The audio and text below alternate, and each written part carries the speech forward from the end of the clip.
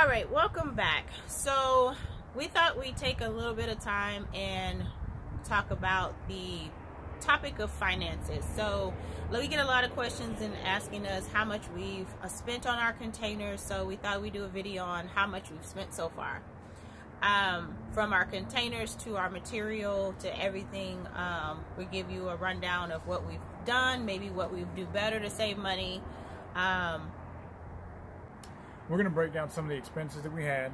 Um, kind of, she we, she kind of did a lot of the uh, budgeting and financing in categories. So we'll kind of give a highlight of what we spent on each subject, each category, such as plumbing, um, lumber and wood, and things like that in different different sections. And we'll also tell you what the cheapest category we've spent on so far later on. And what the most expensive. All right, so so far we spent a grand total of almost fourteen thousand dollars, but that is including our containers. So thirteen thousand eight hundred and fifteen dollars and ninety five cents. Um, as far as the house goes, I think that's actually really cheap, but um, we could have saved money other places, but I think we've done really good. We've been using Habitat for Humanity for a lot of our stuff, and then people have given us stuff for free, or we found it on Craigslist and all different places. So it's been, it's actually been pretty good. Yeah, so uh, we live in Central Texas, and uh, Habitat for Humanity was a local organization that um, it's kind of like a goodwill for lumber and supplies and uh, building materials. So they get donated a lot of uh, lumber and supplies and stuff like that. And we go there and check out and see what they got. Sometimes it's hit or miss. Go there and check, see if they got it. If They don't have it, then we got to go to the store and pay regular price for some of these things. Um, that's kind of what, what, we're doing. And then we also are, you know, we get, uh, like she said, we get. Um, I, I found things for like, give an example we used bed frames for the uh, window framing. So he welded the bed frames and talking about your typical full size, queen size, king size bed frame. And we use those to weld around to put our windows in. And those we, most of them we got for free. People were giving them away. So that was easier. Um, the containers, we spent 6000 on the containers, so 3000 each. And then the crane cost us about $700 to get it from Houston to here, um, which was actually, not the crane, the crane was, the crane was them putting in, in place. So the 6000 was including the um, travel. Um, which, which was interesting because we are about a three hour drive from Houston, and that's where we got the containers because they happen to be cheaper to get them there as well as the transportation three hours away. It turned out to be cheaper, so the guy was able to come here. We saw, we showed that was one of our first videos. Came in here with the fifth wheel, pulled it on, drove it all the way from Houston to here, and that was cheaper than some of the places that are literally five miles down the road. So um, we kind of looked around for, for deals like that, and uh, thing. Um, moving on to the next thing was the the lumber. Um, so we've got a lot of wood on the interior framing and things like that.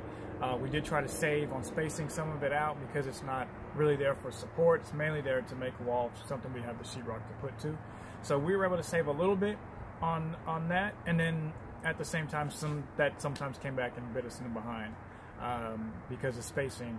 Uh, we didn't plan correctly for where certain uh, corners we're going to corners go. we're going to go intersections of walls we had to add pieces for sheetrock and things like that so when we do the next side uh, this back side which will be the kitchen area behind us as well as the upstairs to come in the future uh, we'll have that planned out and uh, drawn out better so that we can save uh, on some of the lumber that we ended up having to buy extras for yeah because we end up having to do home depot runs quite a bit for one board here two boards there because the sheetrock didn't have anything to screw into. So just a little bit more planning, but this is the first time we've done this, so we're learning as we're going.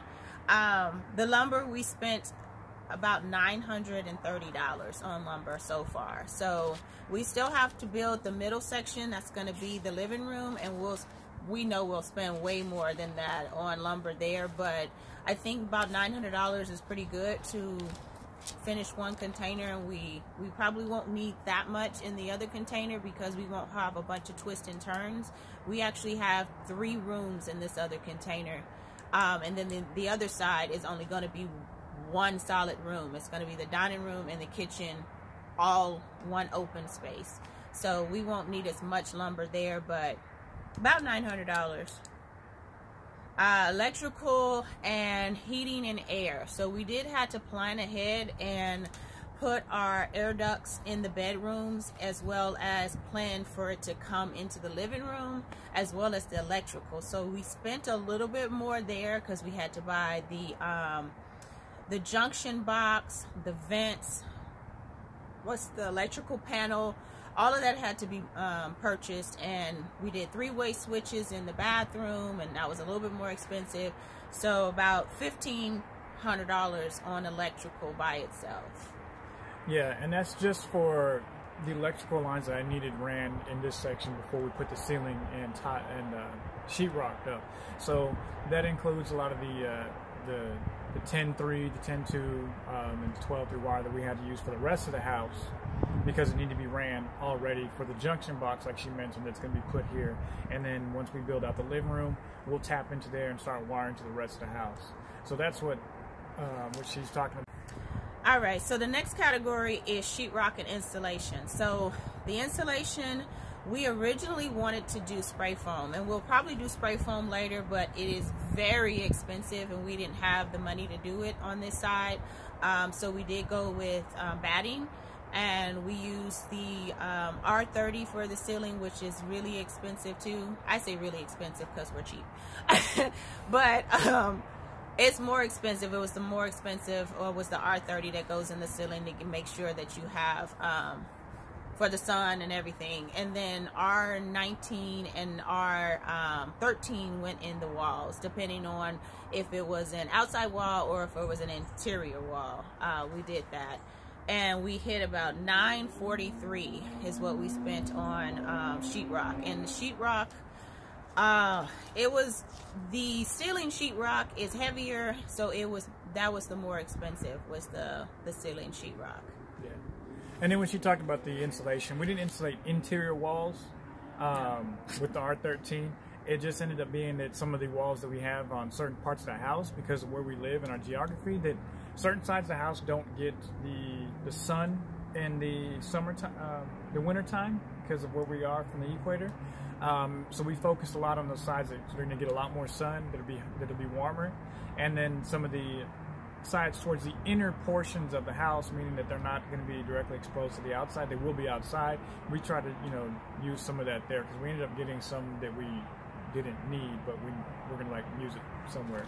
Oh, and then we also use foam board. So to add an extra layer, we use foam board in the walls and in the ceilings. All exterior walls and all um, the whole ceiling, we use foam board first, and then we put the sheet, um, the batting.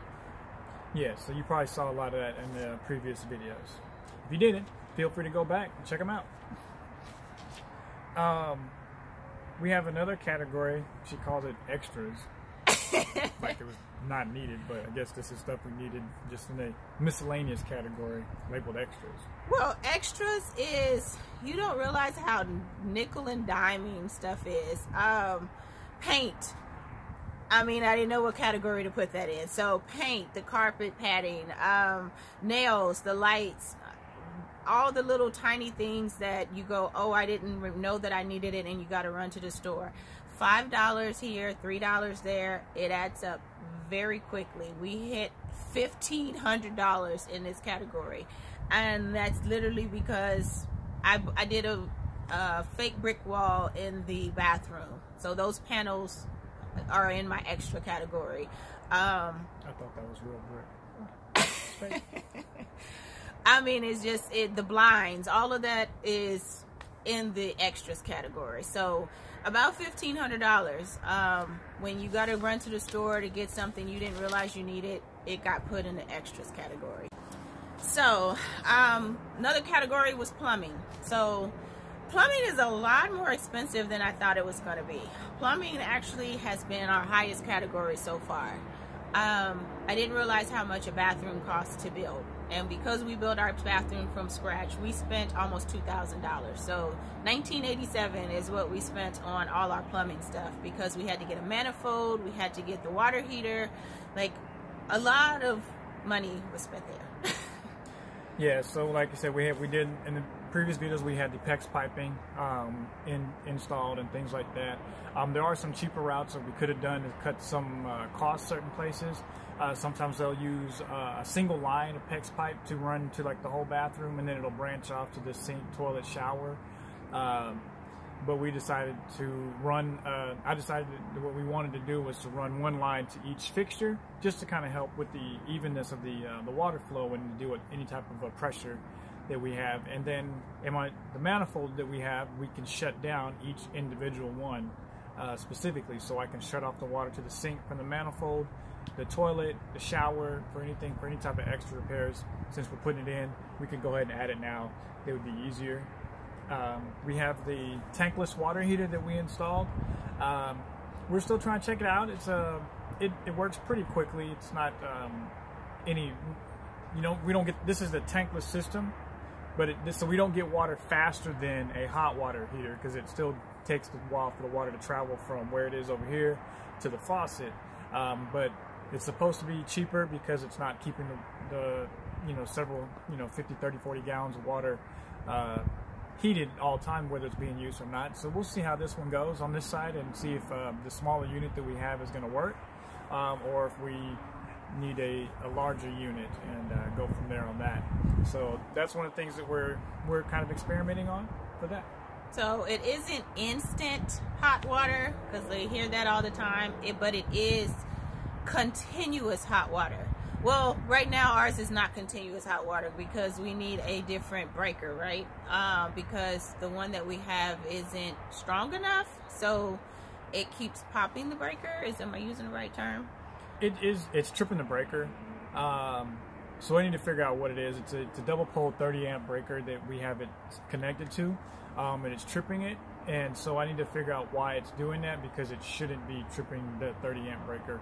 And we'll I'll be looking into that later on to address that issue. But the goal for a tankless, the reason why I wanted it is because it's supposed to be continuous hot water. So if somebody wants to sit in the shower forever and take long, long showers, I can take a shower later and not have cold water. It's supposed to be constant hot water. Okay, we're not getting too personal. uh, now, earlier, I mentioned that we have a category that we spent the least amount on, and you haven't seen any of this in any of the videos because we're not in that category yet. So, it is the appliances. We have a dishwasher, an oven, a stove top, a countertop stove. We actually have two ovens. They're both in walls. So one is a uh, double oven. Uh, it's what is it?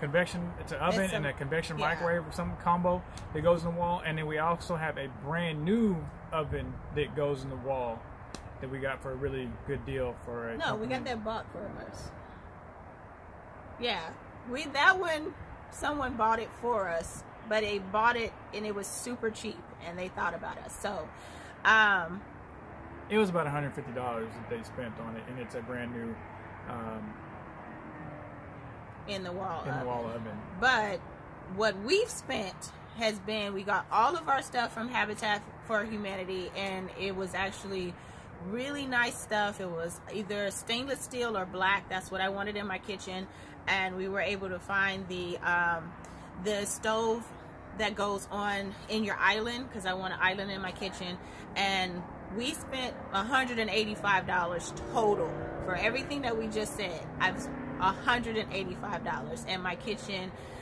only thing that I'm missing is I do want a new refrigerator but I have one but um, and then we really want to do the sink um, what is it called the the the what the garbage disposable, the garbage disposable. we want to do that deep farmhouse kitchen sink um, and I haven't found one Habitat hasn't come up with one yet but $185 for all my appliances is really good deal. But when we get over to the other side, you'll be able to see that. But that is our lowest category right now is that we've spent so far.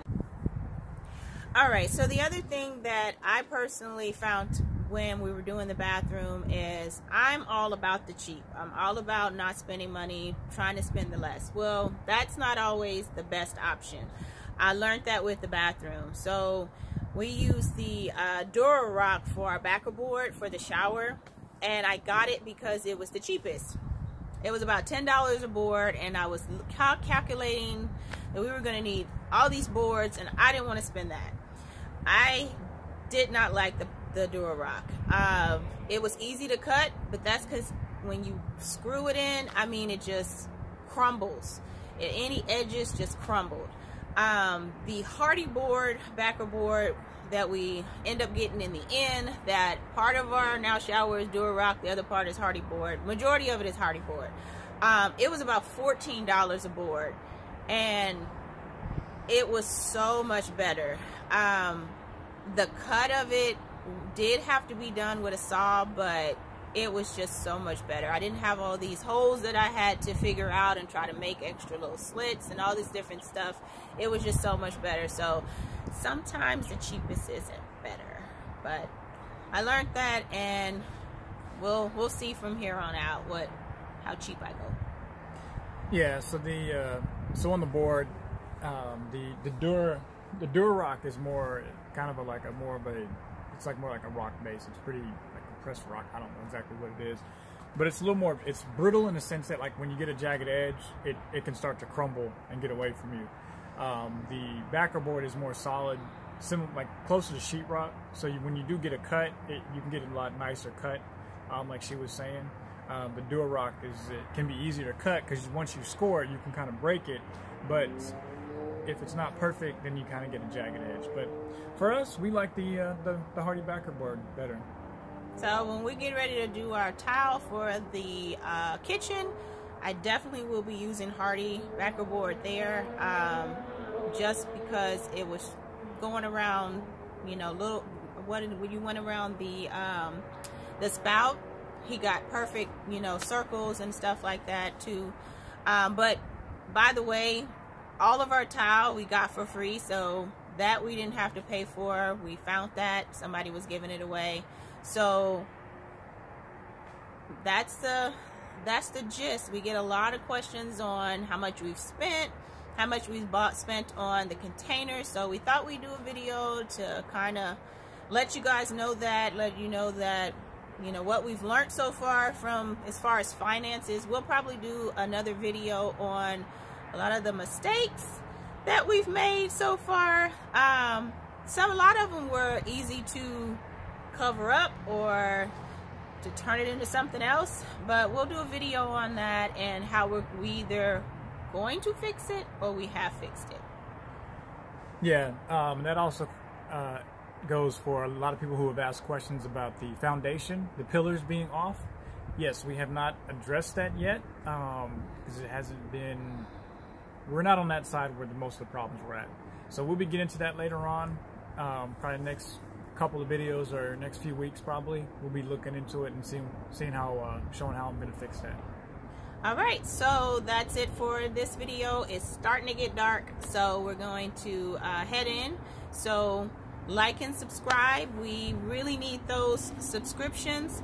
Um, we do have an Etsy page that we're trying to uh, making jewelry.